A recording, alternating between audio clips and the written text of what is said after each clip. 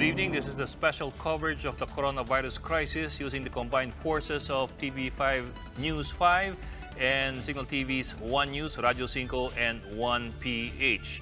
Supermarkets are feeling the pinch only two days into the month-long lockdown of the entire Luzon.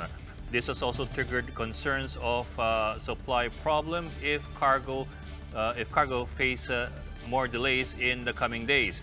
Steven Cua, the president of the Philippine Amalgamated Supermarkets Association Incorporated, says that current supplies will not last very long if the trend continues. Bigger players are also feeling the bite, but slower.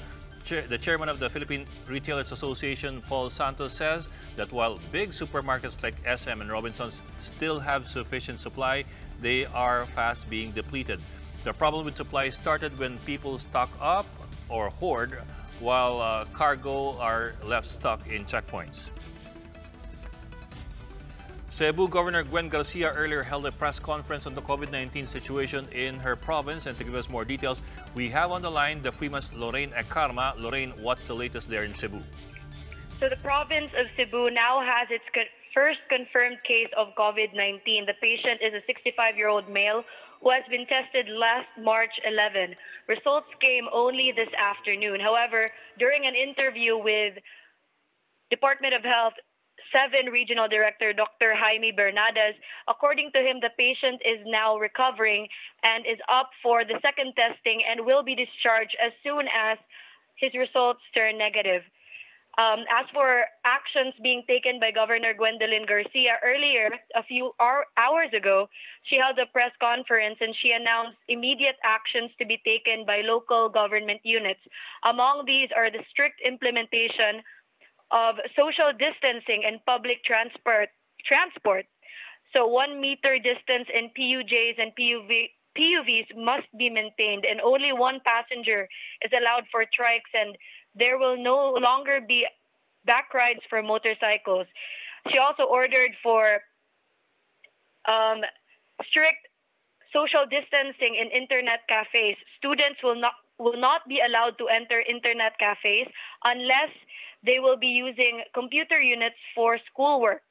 Local government units have been urged to cancel all social gatherings, including sports activities. The Department of Health, the Philippine National Police, and the military are now in close coordination for the contact tracing of the individuals who have interacted with the COVID 19 patient. According to Garcia, this is because DOH is, should no longer be concerned with contact tracing and it should be the work of the intelligence network. Meanwhile, Garcia also urged Iglesia Ni Cristo to follow other to follow suit with other religious groups in foregoing religious gatherings and live streaming them instead. Garcia urged every, every Cebuano to stay at home. According to her, if cases arise, if cases continue to increase, the province does not have enough facilities to cater to the pandemic. She is now currently in a meeting with Mandaue Mayor Jonas Cortes Lapu-Lapu Mayor Ahong Chan, and Cebu City Mayor Edgardo Labella, along with DOH, to come up with stricter stricter controls on mobility following this first confirmed COVID case. Uh, Lorraine, we understand that uh, Cebu uh, suspended domestic sea and air travel earlier, but I'm wondering, within the province itself, is there any kind of boundary restriction or travel restriction between towns and cities? Yes, yes. There are currently no incoming domestic travels in Cebu province. However, um, Cebuanos, uh, residents, everyone in Cebu are still free to move about from town to town. However, 11 checkpoints have been placed and marked in Cebu City. Mm -hmm. What about uh, commercial uh, activity? For example, malls, are they still open? Uh, what about uh, retail uh, outlets? Uh, you know, anything and everything from merchandise to, to of course, to food and medicines and to any other things? Malls are still very much open. Convenience stores and pharmacies are the exception, actually, of curfews for establishments. However, um, the governor has ordered, even before the confirmation of the first COVID case, for the closure of gyms and swimming pools, and other recreational centers invo- uh, involving communal activities. Okay, and uh, we do not have any curfew yet in Cebu. Uh, is that correct?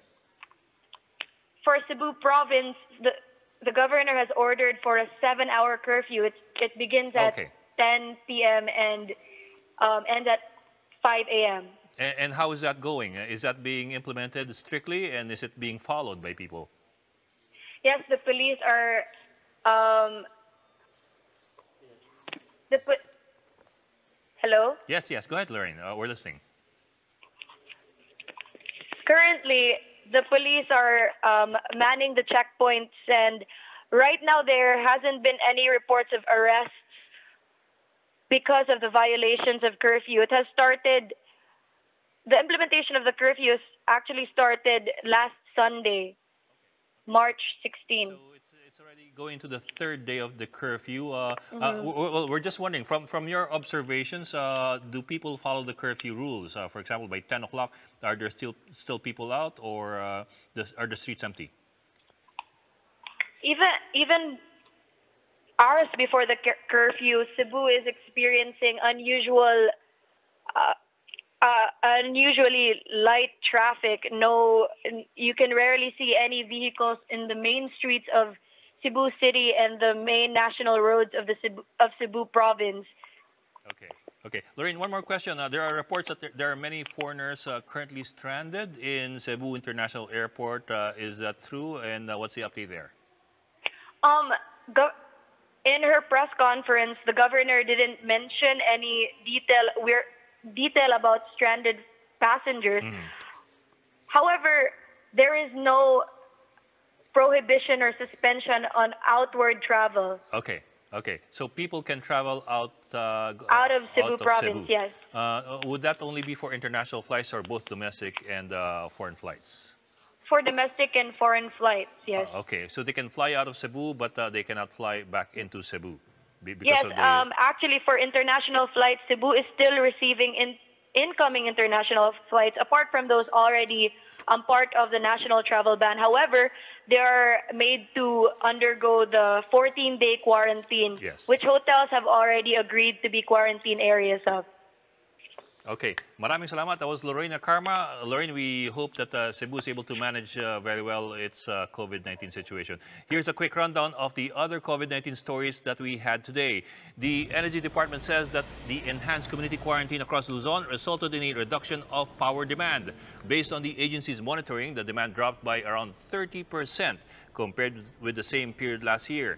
This means that most of the economic activities have slowed down. China will donate 100,000 test kits as well as thousands of surgical masks and personal protective equipment, or we call them PPEs, to help the Philippines amid the COVID-19 pandemic. Chinese Ambassador Huang Xilian said on Wednesday that the Chinese embassy has been closely communicating with the health department to ensure a speedy receiving of the donations. And Jollibee Food Corporation pledges 100 million peso wor- pesos worth of food products to health workers and on-ground checkpoint personnel.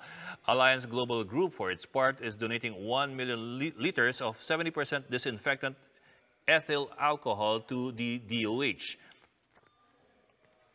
And that's the latest on the enhanced and expanded community quarantine in Luzon. For more updates, follow News 5, the Philippine Star, and Business World Online. I'm Ed Lingao. We are One News.